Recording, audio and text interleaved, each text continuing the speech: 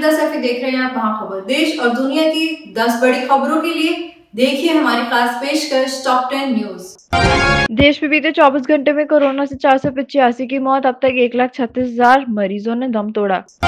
देश के तीन कोरोना वैक्सीन सेंटरों का आज दौरा करेंगे पीएम मोदी। तीन दिसंबर को बातचीत के लिए किसान यूनियन को आमंत्रण भेजा है केंद्रीय कृषि मंत्री। अहमदाबाद, प्रधानमंत्री मोदी जाइड्स बायोटेक पार्क से निकली कोरोना वैक्सीन की समीक्षा।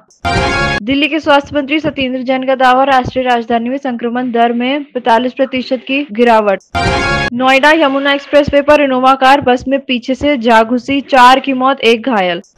जम्मू कश्मीर में डीडीसी चुनाव, पहले चरण में तिरालीस निर्वाचन क्षेत्रों में मतदान शुरू। बीजेपी ने बिहार से सुशील कुमार मोदी को राज्यसभा उम्मीदवार बनाया।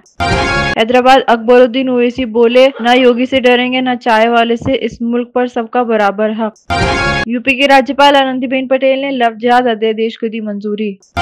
देश और दुनिया की आपसे जुड़ी तमाम बड़ी खबरों के लिए देखते रहिए महाखबर। अगर आपने हमारा चैनल सब्सक्राइब नहीं किया है तो यूट्यूब पर हमें सब्सक्राइब करना ना भूलें।